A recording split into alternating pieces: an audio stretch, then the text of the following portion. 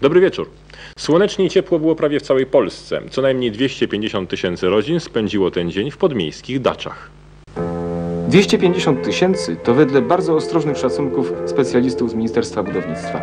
Ile naprawdę jest dacz, nikt nigdy nie policzył. Wiadomo tylko, że ta bardzo pożyteczna moda wybuchła w latach 70., a nazwa w stanie nienaruszonym przywędrowała ze Związku Radzieckiego.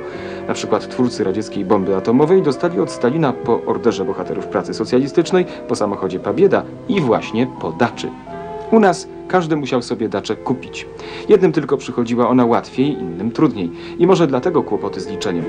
Obecny kryzys przybrał demokratyczny charakter i wyrównał szanse. Czy minister, czy zwykły Kowalski, każdy musi płacić około pół miliona za metr sześcienny drewna, od 350 do ponad 1000 zł za jedną cegłę, 7 tysięcy za kilogram gwoździ, 10 tysięcy za ogrodzeniowy słupek.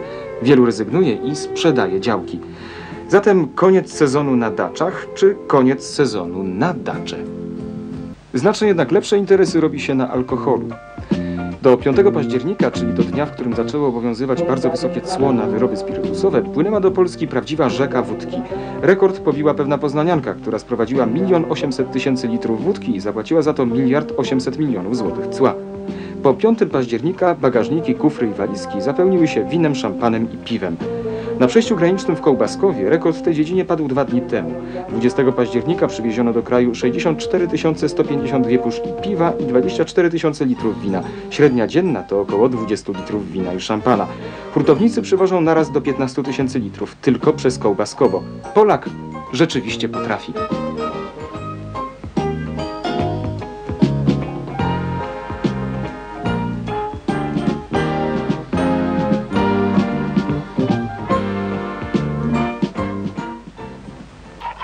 Przyjechało 3000 gości wraz z właścicielami. Tym razem do Poznania wiodły drogi z Czechosłowacji, NRD, Danii, RFN i Związku Radzieckiego.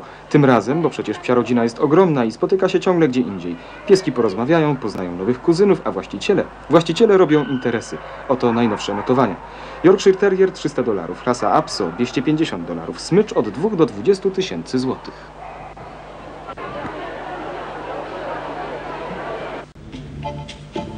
Największe domy mody i najlepsi projektanci przeżywają dni szczególnie ekscytujące.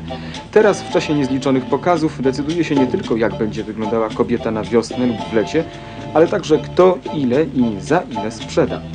Piękne kobiety, piękne kreacje, wielkie pieniądze. Jednym słowem, gorąca krawiecka jesień.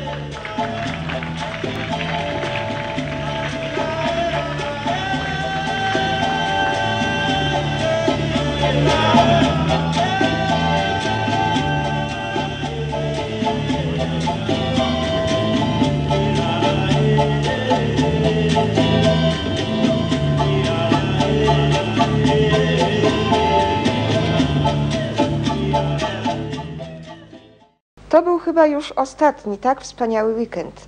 Na zachodzie Polski temperatura dochodziła do 25 stopni. Ale jak każda anomalia, tak i ta nie potrwa długo. We wtorek ma się już pogorszyć, ale jutro jeszcze piękny i ciepły dzień.